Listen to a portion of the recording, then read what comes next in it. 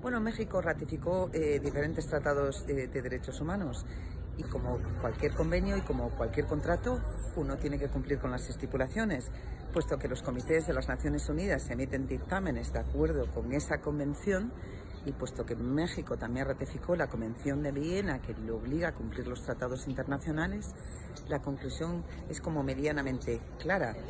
México tiene que implementar y cumplir los dictámenes de las Naciones Unidas de Derechos Humanos.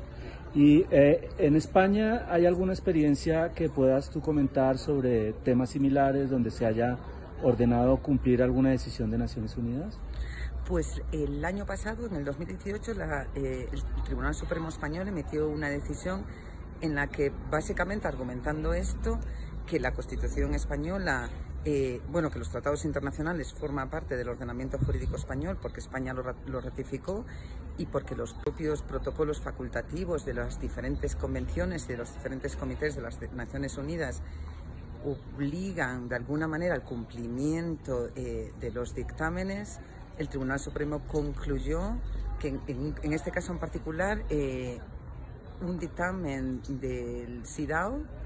es vinculante para el Estado español y que de hecho la falta de un mecanismo en España específico para la implementación es una violación